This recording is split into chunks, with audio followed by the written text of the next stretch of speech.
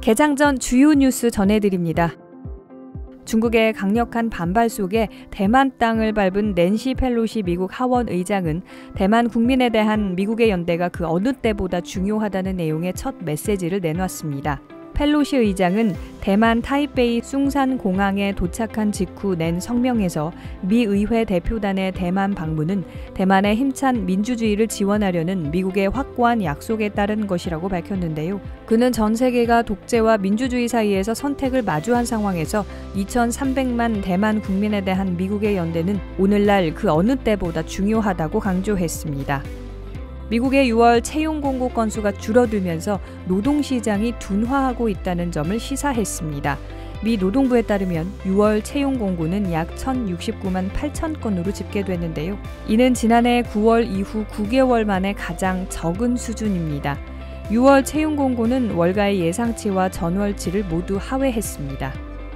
미국 연방준비제도 내 비둘기파적 성향의 위원으로 알려진 찰스 에번스 시카고 연방준비은행 총재가 올해 남은 기간 금리 인상 속도를 낮출 수 있기를 바란다면서도 향후 나오는 지표에 따라 9월 회의에서 75 베이시스 포인트 인상도 가능하다고 말했습니다. 외신에 따르면 에번스 총재는 이날 언론 브리핑에서 자신은 지난 6월 내놓은 금리 전망치에서 여름 동안 두 차례 기준금리를 75 베이시스 포인트 인상한 이후 9월에는 금리를 50 베이시스 포인트 인상할 것으로 예상했다고 말했습니다.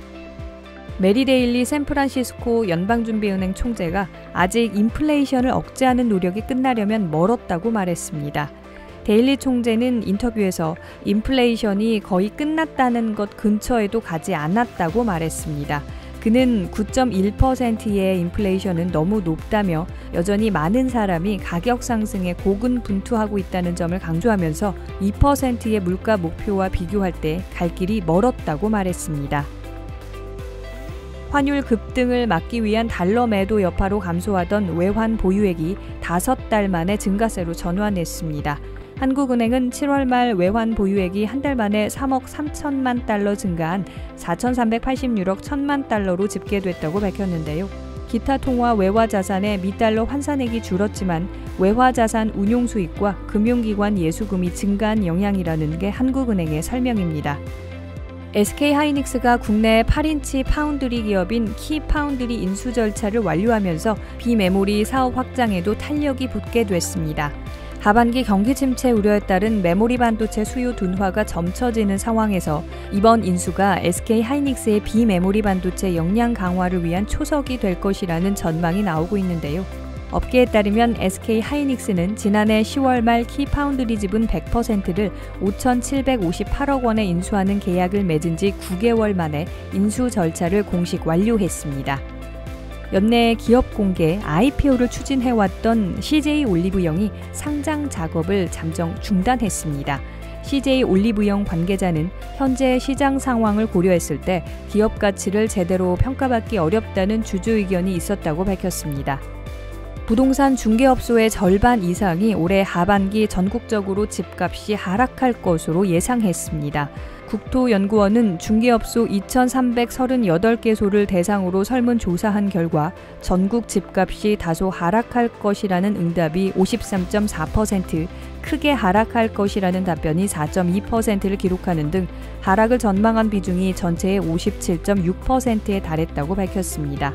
특히 인천과 대구 지역의 집값 하락을 예상한 중개업소가 각각 70%를 넘었고 서울 집값은 54.7%가 하락을 점쳤습니다.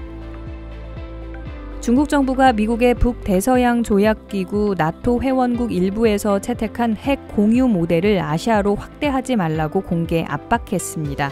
푸충 중국 외교부 군축사 사장은 미국 뉴욕 유엔 본부에서 열린 제10차 핵 확산 금지 조약 평가회의 2일차 일반 토의 연설에서 나토의 핵 공유 모델을 아시아 태평양 지역에 복제하려는 어떠한 시도도 영내 전략성 안정을 약화하고 영내 국가들이 강하게 반대할 것이라고 말했습니다.